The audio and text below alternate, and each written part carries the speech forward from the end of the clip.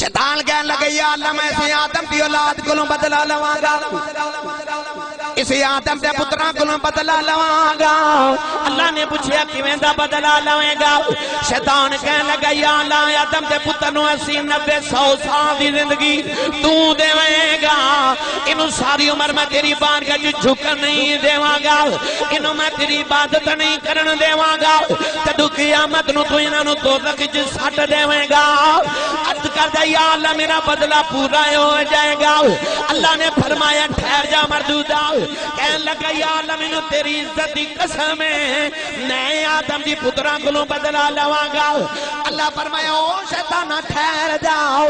مینوں بھی اپنی رب نو فرمایا مینوں اپنی عزت دی قسم ہے۔ شیطان کہنے لگا، یا اللہ، تو کیوں عزتاں دیاں قسماں چکنا ہے؟ فرمایا میری عزت دی قسم اٹھائی ہے۔ میرے آدم دی اولاد کلوں بدلا لویں گا۔ فرمایا مینوں بھی اپنی عزت دی قسم ہے۔